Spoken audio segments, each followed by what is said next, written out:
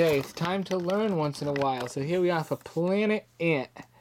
It's an ant's world. Now this looks like it's old. It's from BBC, but who knows how old this actually is. 2012, 2015 again. So the package design was in 15. So 2012.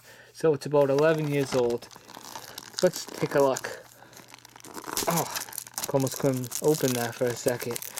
Now, there's not going to be much to these kind of films because they're just in a boring case and stuff, so don't expect much out of it. Just trying to ask people ahead of time, tell people ahead of time.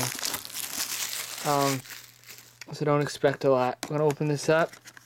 There we go. Well, I like the disc already, even though it's only the front cover. It's better than having something shitty.